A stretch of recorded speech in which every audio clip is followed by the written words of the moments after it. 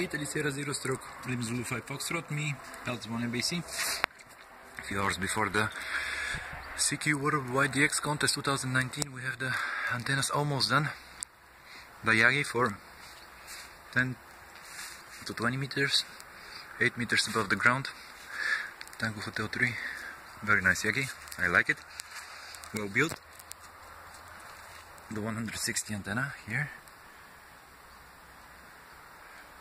Alum aluminium mast with fishing rod.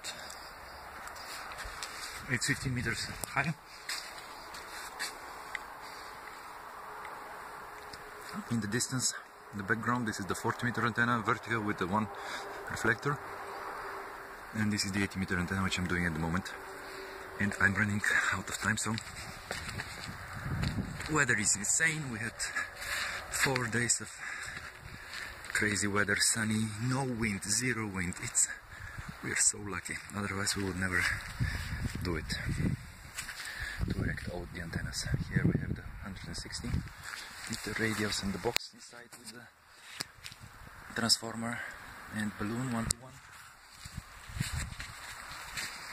Look at the weather. Look at the weather, it's insane. We have around 20 radials on the radials on the 160 meter antenna. Let me show you the 40 meter antenna.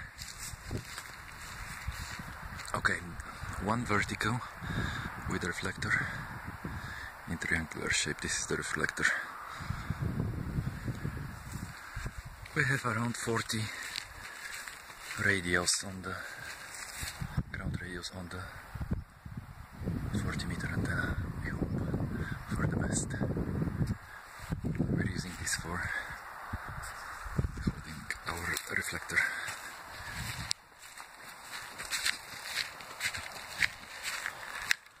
Okay, this is the.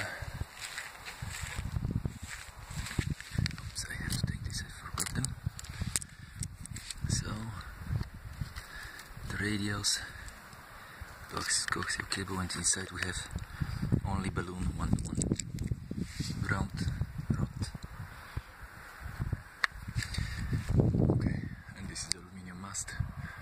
Going up, up, up, up, up to four meters, I think, or four, and then we have the fishing rod, the seven meter long fishing rod. We have to reduce the length of the metal mast because of interference. And look at the weather. Sea is calm.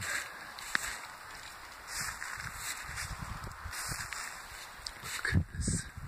We are on the north beach of Sardinia.